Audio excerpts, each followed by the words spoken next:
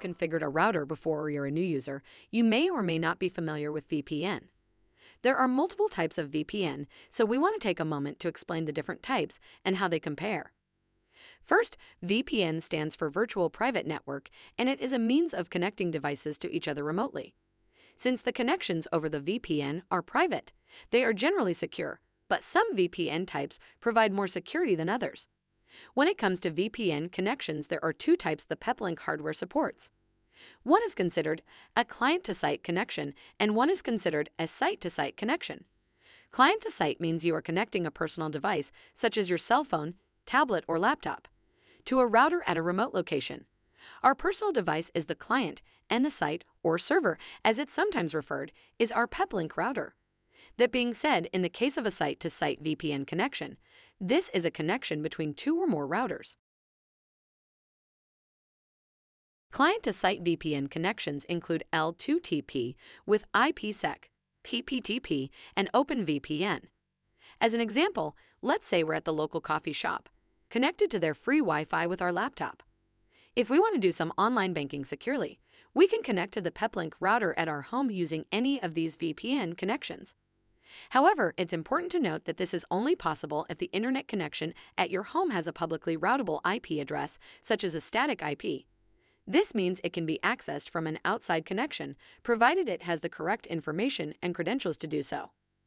Once we're connected to the VPN, any information that we send and receive through our laptop is going to be encapsulated and transmitted securely from the coffee shop Wi Fi through the open internet and back to our PepWave at home. This protects us from any potential threats on the coffee shop Wi Fi network, and it also lets us access local devices on our PepWave, such as security cameras or a hard drive, all as if we were connected directly to our home network. While we take a quick look at the Peplink configuration pages, we want to make sure this is clear. Our laptop, in this case, still requires an internet connection. It cannot use the internet connection from your PepWave at home. It's simply a means to secure your connection over a public network while simultaneously providing remote access to devices on your home network if needed. That brings us to the site to site VPN connections. All Peplink and Pepwave routers support PepVPN, which is Peplink's simple approach to Internet Protocol Security VPN, or IPsec VPN for short. Most hardware also supports IPsec. This does not include Wi Fi access points, the Surf Soho MK3, or outdoor rated hardware. Just like with client to site VPNs, site to site VPN connections will require a static or public Internet IP address on at least one of the routers. Here's a preview of each site to site VPN. IPsec is up first. Site to site connections are typically made for sharing access to devices and files across each network. IPsec is a common VPN protocol used by several router manufacturers. On your Peplink or Pepwave router, IPsec can be used to connect to another Peplink or Pepwave router, as well as Cisco and Juniper routers. Though when you're using all Peplink and Pepwave hardware, PepVPN is a comparable method that will save you time. As you'll see here, PepVPN works in the same manner as IPsec, meaning they both provide a way of connecting two remote networks together. Here's a view of the PepVPN configuration profile. The difference in settings is quite obvious, you still have enough for what's needed, but in most cases, this is all we'll have to enter name, encryption, authentication, and remote IP address or host name on one router. The rest are default settings. Before moving on, there's one more thing we want to clarify. As common as hacking is these days, there's several VPN services you can pay for that advertise they'll protect your internet traffic. Along with features like content blocking, the VPN service masks your IP address with a random one from their servers, providing you the secure connection. Services like these usually consist of a program you can download onto your computer, mobile device, and in some cases, your router. Until Peplink released firmware 8.1.1, this was not supported.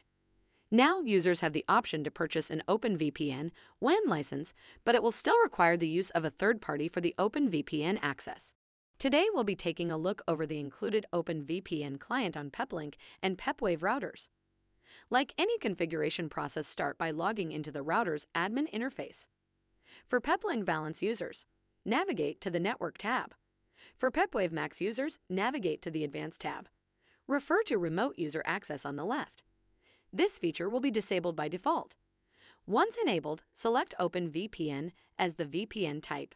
Set a connection security refresh time or leave the default of 60 minutes. Next is the Listen On section. This is a list of the router's WAN connections along with their IP addresses to the right. The selection you make here is going to be the connection used to allow remote connections.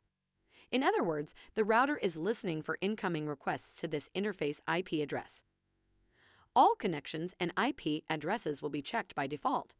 In our example, we only have one connection with a public IP address, the cellular. So this is the only one we'll leave checked. UDP1194 is the port's defaults. You can change this if there's any conflicts within your network. Connect to Network is where you can choose which local area network for incoming users to connect onto.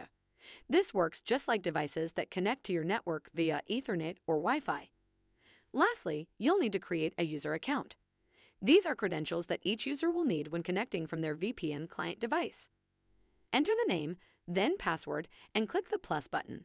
If we need to delete a user, click the red X when you're done, click Save, and then apply changes. The setup of the router is now complete, but you still need to make sure you have an open VPN account created. Typically, you'll use the Connect application they offer for Windows and Mac operating systems.